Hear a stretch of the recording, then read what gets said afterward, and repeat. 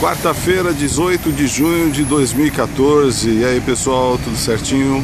Estou aqui na praia do Boqueirão, em Santos, tempo nublado, neblina, não dá nem para ver ali, olha, a Ilha das Palmas, a gente nem consegue ver, nem Ilha Pochá, tá bem com bastante neblina. Isso significa até que acho que vai ter sol. Então, esse aqui é um prédio chamado Parque Verde Mar.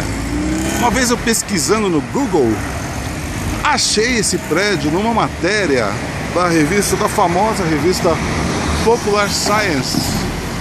Sabe aquela revista norte-americana Popular Science, super antiga, falava sobre tecnologias da época e até hoje existe, claro. Então, uma matéria de 1950 e pouco, uns anos 50, que vocês podem procurar, que isso aí tem, vocês acham fácil no Google. Fizeram uma matéria sobre o estado de São Paulo, comparando o estado de São Paulo com a então Detroit, ou seja, Detroit brasileira seria São Paulo. E há matérias sobre Santos também.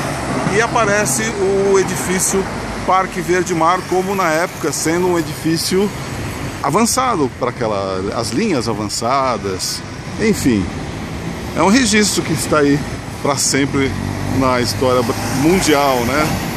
O Parque Verde Mar, que é um edifício, pra vocês terem uma ideia, ele tem os elevadores de serviço tal, mas cada elevador social tem vários elevadores sociais, porque cada elevador social ele chega é, na porta da sala de cada apartamento. Legal, né? Olha, amanhã tranquila, viu? Santos, ali a rua Ângelo Guerra, e, enfim, é isso aí. Uma quarta-feira após um meio feriado, né? Após o Jogo do Brasil, tudo tranquilo por aqui. É isso aí, pessoal. Um grande abraço e um ótimo dia para você.